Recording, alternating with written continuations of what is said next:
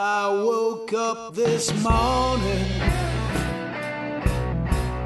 I was dreaming of you.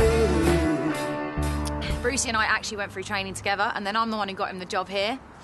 And ever since that day, he's so far stuck up Ron's ass. It's a joke, it's ridiculous. It's embarrassing. Or would you just sod off? I'm on my lunch break.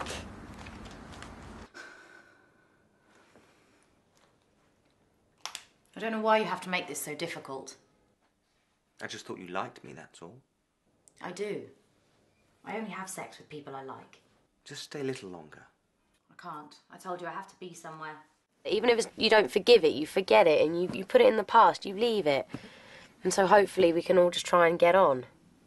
Oh, Mick, I don't fucking fancy him. I Fuck you! Fuck you! Please get out my fucking flat! Don't It's, want it's my see fucking you. flat. It's Don't mine. Fucking right push there, me. darling. Go on, You go on, babe. Go on. don't fucking- Go on, do it!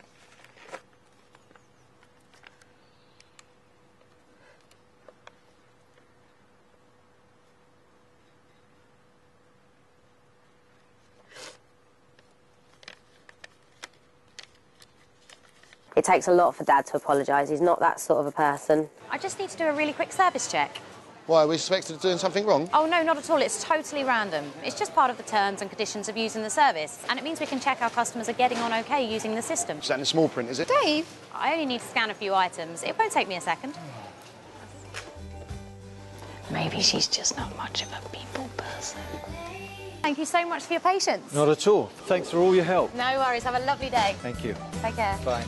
I woke up this morning. I was dreaming of you. But nothing was real.